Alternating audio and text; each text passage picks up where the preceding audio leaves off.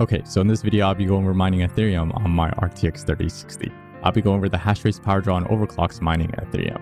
Now, if you just want a quick glance, I'll have everything in the description below. And if you want a more detailed guide on how to set up the RTX 3060 mining Ethereum, check out my other video. So thanks for tuning in. This is The Life of Miner.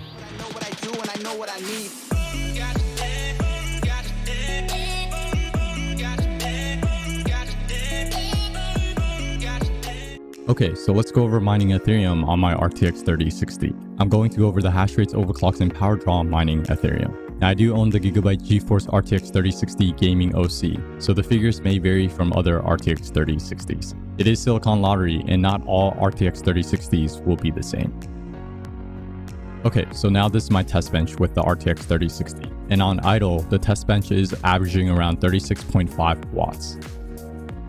Now the miner program I'm going to use is called Phoenix Miner 5.5C, but there are other miner programs out there that may get you different results. And the overclock program I'm going to use is called MSI Afterburner. Now there are different skins you can get with MSI Afterburner, but they all work the same.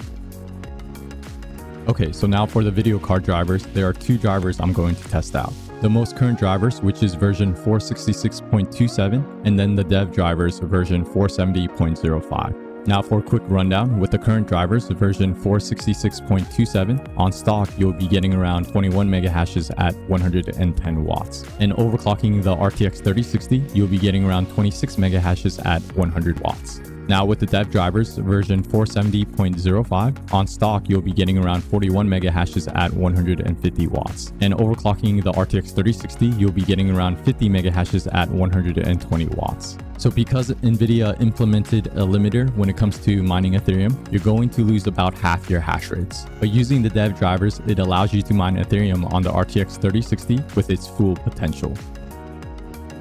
So first let's test out the current driver version 466.27. And this is MSI Afterburner with the RTX 3060 on stock settings. So mining Ethereum on stock settings with the current drivers, I was averaging around 21.93 mega hashes and the whole rig was pulling around 148 watts. So the GPU itself was only pulling around 112 watts. So the hash per watt is around 0.20 mega hashes per watt. But really quickly, I want to show you mining Ethereum with the current drivers. So right when you start up, you'll see your hash rates are a lot higher in the beginning. But after a couple seconds, it starts to drop to about half of what it was. So let's check this out.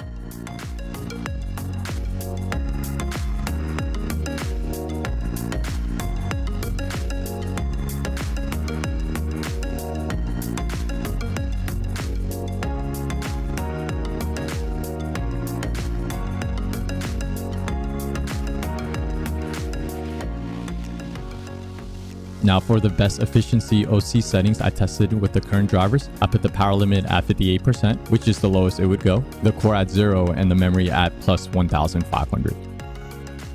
Now I was averaging around 26.93 mega hashes and the whole rig was pulling around 134 watts. So the GPU itself was now pulling around 98 watts. So the hash per watt is around 0.27 mega hashes per watt. So as you can see with the current drivers, you're losing around half your hash rates due to the NVIDIA limiter.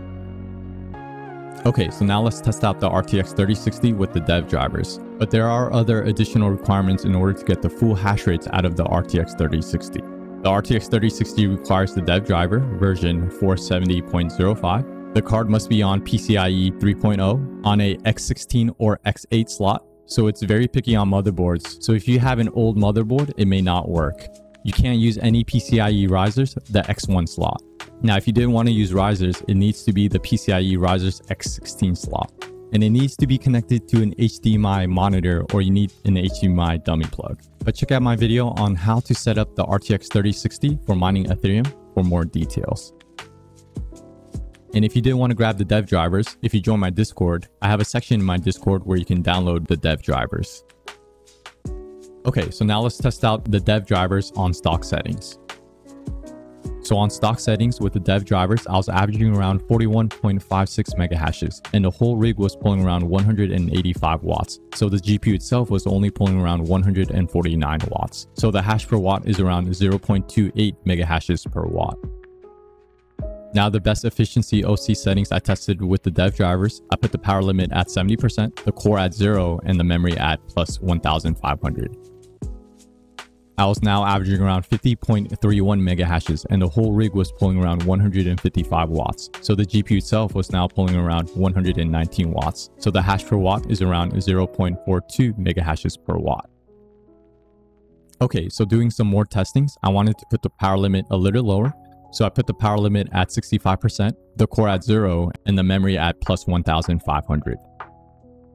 Now I was averaging around 48.84 mega hashes and the whole rig was pulling around 146 watts. So the GPU itself was now pulling around 110 watts. So the hash per watt is around 0.44 mega hashes per watt. So lowering the power limit to 65% from 70%, I lost about 1.5 mega hashes, but it did decrease the power draw by about 10 watts.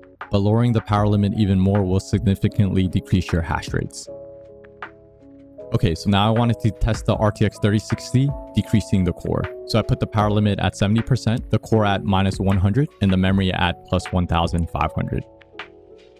I was now averaging around 50.30 mega hashes and the whole rig was pulling around 155 watts. So the GPU itself was now pulling around 119 watts. So the hash per watt is around 0.42 mega hashes per watt.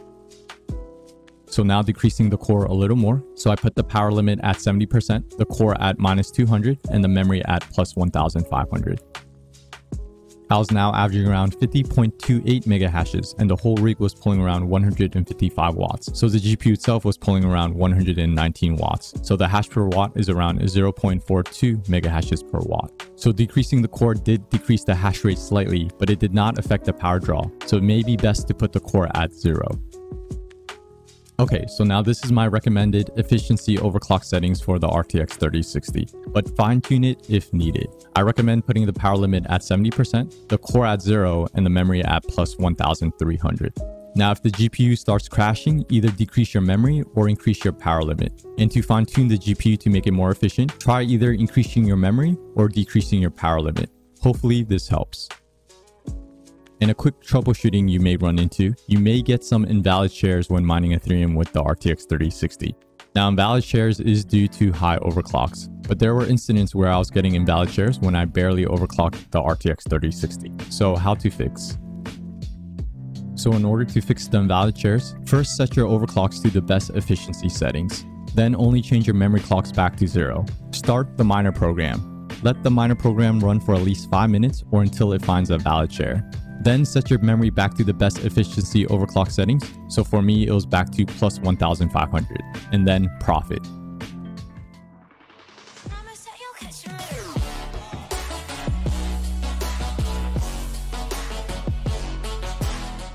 Alright, so thanks for checking out my mining results mining Ethereum on my RTX 3060. And if you want a more detailed guide, check my video on how to set up the RTX 3060 mining Ethereum. And if you do have any questions and you want to ask me live, I do stream live on Twitch at twitch.tv slash the life of miner every Sunday 2.30 p.m. US Eastern Time. And if you do need any type of help, definitely join the Discord. I or someone knowledgeable will definitely help you out. Okay, so hope you enjoyed this video. Thumbs if you enjoyed it, sub if you decided to see what's next. But of course, thanks for watching and always happy mining.